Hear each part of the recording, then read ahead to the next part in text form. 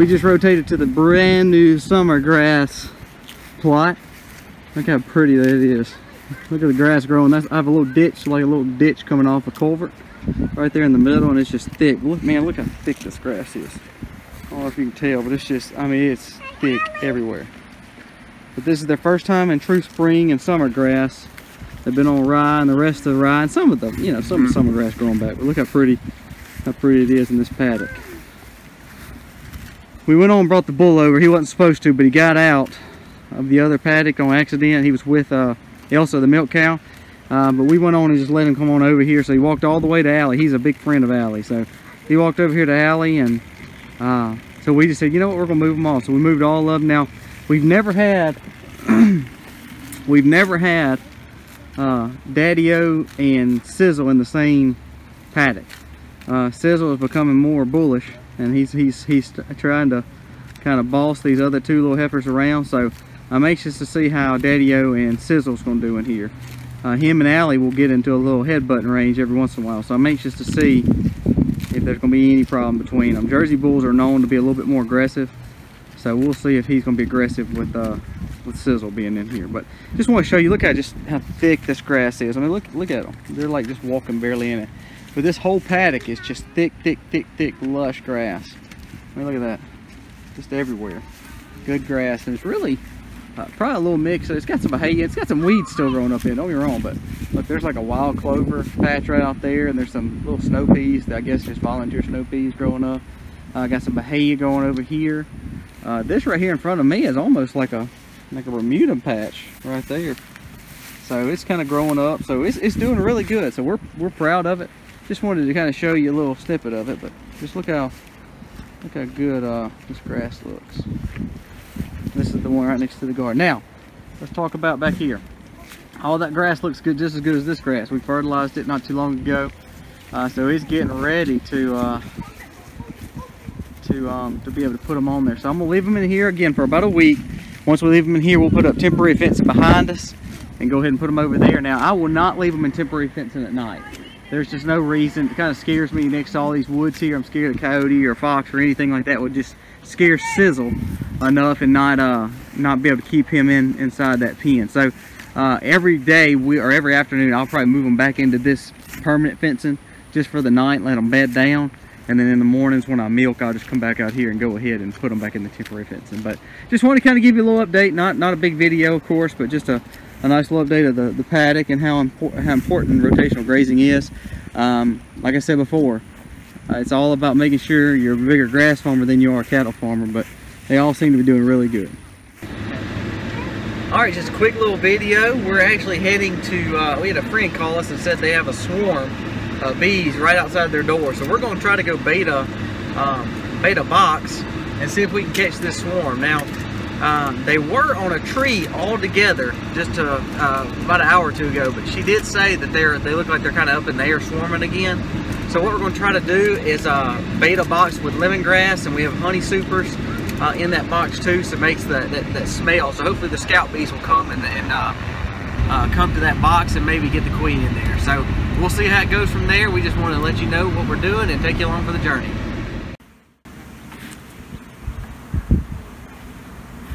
All right, um, you can see they're swarming a little bit. There's a, there's a pile of them right there, but it's so high I can't get to it. So what I'm gonna do is uh, bait this. Now these bees, these are some huge bees. You can tell they're probably wild. They're probably not a packaged bee by any means, because look how big they are. Well, that's some big body bees there. That, that's some big bees. I don't think I've ever seen them that big. So we're gonna just try to get them out of here. They're already attracted. We put some lemongrass do you have some more of that lemongrass? It's on the card. Okay.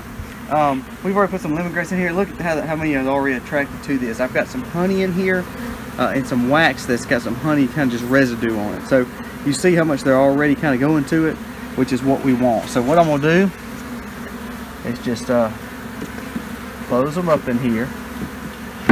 Uh, I don't know what kind of bees these are, but I know one thing. They are they're a little crazy. That was already trying to sting me and see. Should we leave the top bee. off and let and just uh -uh, let to, several of them go in there? No, they'll just, they'll find it. They'll find their way. They're already going up to the base. See that? Are they're going down there and there. You already got several going in. So, so we're gonna see. They're already showing attraction to it. They've not made a home yet because they can't. They're still trying to find where they're supposed to go. I don't know if the queen's up. I I imagine the queen is up there, but it's just a small little bit, and it's kind of. The uh, homeowner said there was a lot more here. That some of them are gone, so I'm hoping that too. That some of them will come back. But see, and they're not really all congealed to one limb, where you could take that limb off or cut that limb or shake that limb. They've kind of got it going into the tree. So I'm just scared to try to shake them and me miss her and get caught up in this holly, and all of a sudden I make them mad and they all leave. So I think I'm gonna try this approach first. I wish I could have got this box higher. You, you always want to get a swarm, eh, I mean, excuse me, a swarm catcher or a, a, a, honey super or whatever you're trying to catch them in, a nuc or whatever, as high as they are. Swarm traps usually need to be about 10, you know, 8 to 15 foot up, basically, 10 foot. Um, and that's exactly where she's at, or where the bees are. However, I don't have a way, since this is not my home, we're just trying to make way. I thought I could do it with this ladder, but it's still not high enough to get it up there. So we're gonna try it here. Look again, look at on this box, how much they're already on it. Just turn this.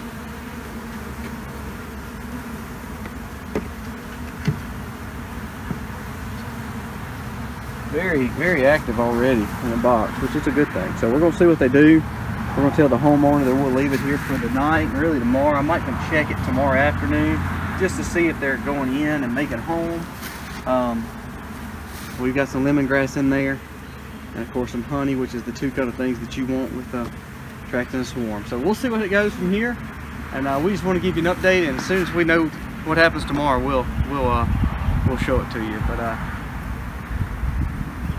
there, there,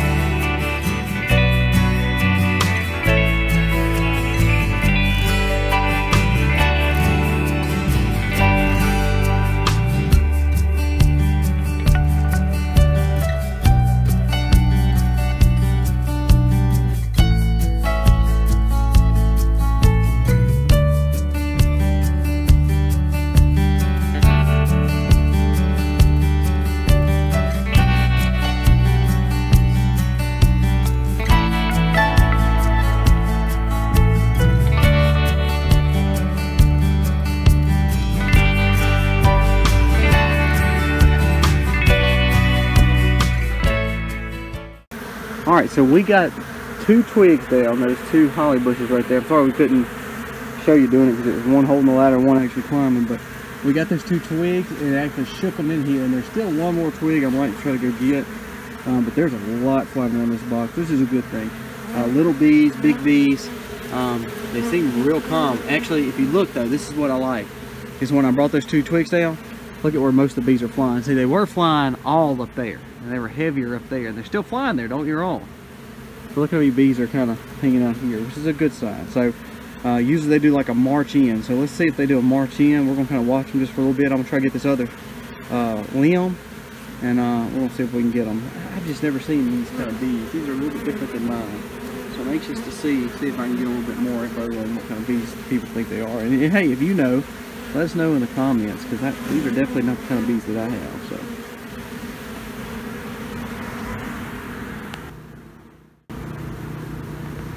they are really active down there. See, they've already started to look like a little wax building right here. So this branch is shaking in here.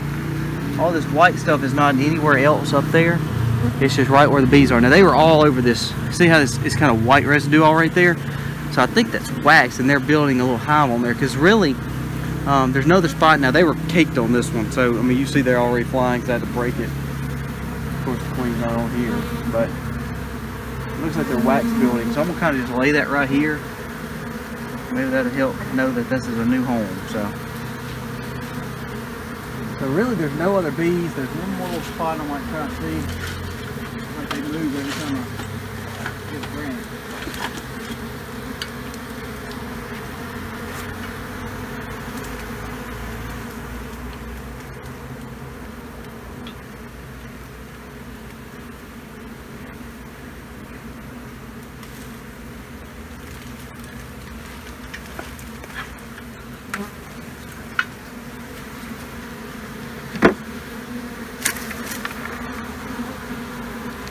There. They got wax on one and there was a lot of bees on that one. So we're gonna just kind of let it stay here for the night.